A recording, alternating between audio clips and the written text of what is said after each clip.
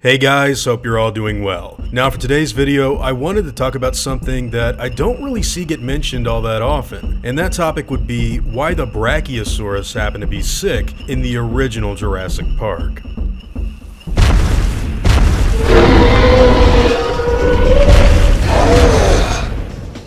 So before I go any further, I feel like I need to make it clear that if we're only looking at the film as it currently stands, there honestly is no answer or explanation as to why the dinosaur wasn't well in the first movie. Now, there are a number of different things surrounding this particular scene that could give us some clues as to what was going on, but I really want to stress the reality that we really don't get a concrete answer in the first Jurassic film. And the reason that ends up being the case is that, much like the sick Triceratops scene that happened happened earlier in the movie, it seems that what was actually important for the filmmakers to dwell on was the fact that the animals weren't exactly doing so well and not what precise minute detail was really causing them to be in such bad health on the island. Of course, with that sick Triceratops scene, the explanation actually does exist, but only in a deleted scene, where Alan and Ellie learn that the Trikes eat small stones every six weeks in order to help digest their food. You can actually see Laura Dern holding one of the stones right when the storm hits the island and the main group splits up. When the Triceratops would eat these stones, they would just so happen to accidentally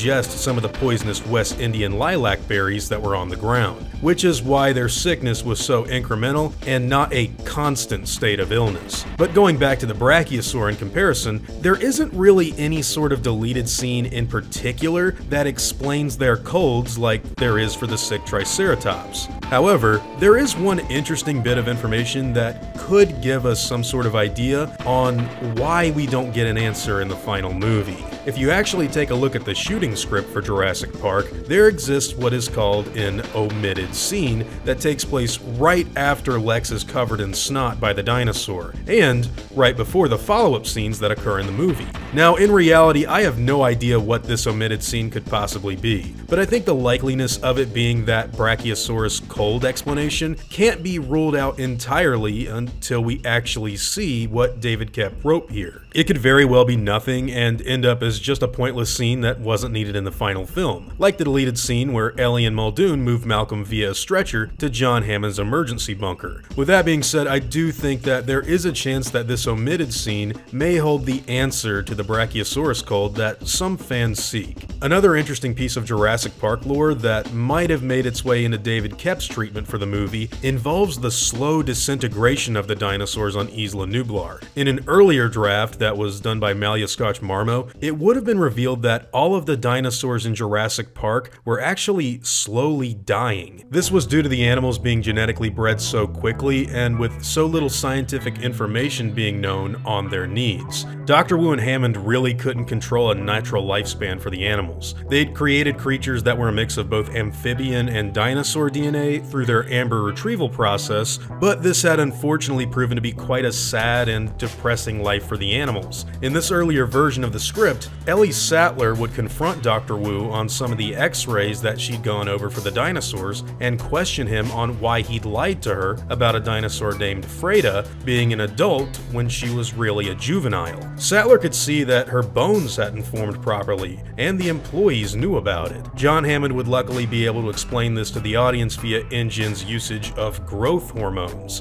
In his own words, the billionaire would say, These animals don't last. There is a regularity and predictability about when they die. It's always very young. We don't know why. Given time, I'm sure Wu will figure it out.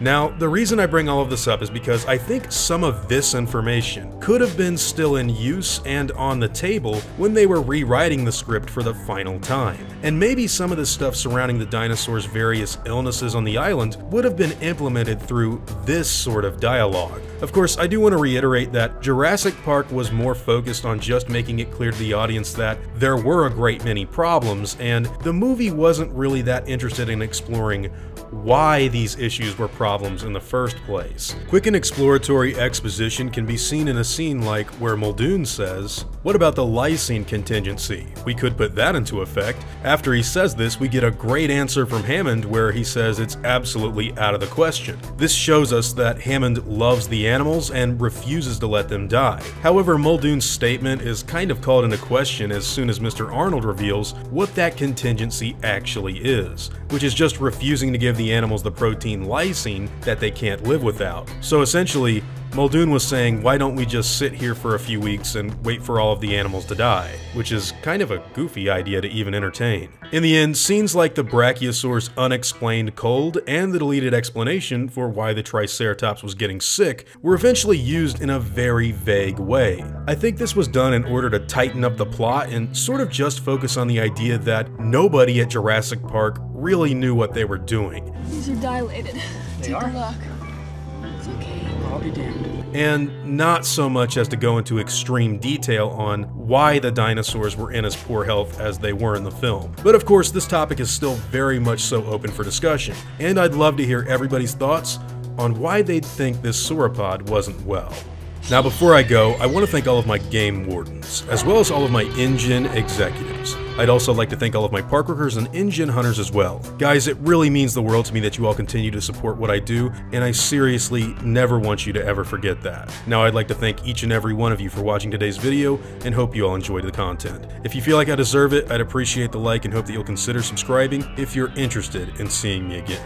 I'll see you all in the next one, guys, and as always, take it easy.